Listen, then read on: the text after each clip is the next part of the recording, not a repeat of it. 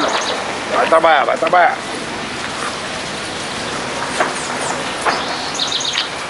Posso voltar hoje à noite de novo? Não dá, Morena, eu vou te pedir uns dias porque eu tô cheio de pepino pra descascar. São coisas aqui da favela? Justamente, é tudo, é tanta complicação. Eu não sei por que que você se dedica tanto a essa comunidade. Você só pensa nisso, Juvenal. Que eu tive um sonho, Morena, um sonho danado e bonito. Eu sei. Sonhou que essa comunidade ia se tornar uma favela enorme, não foi isso? A maior de todas. A minha casa, o meu reino.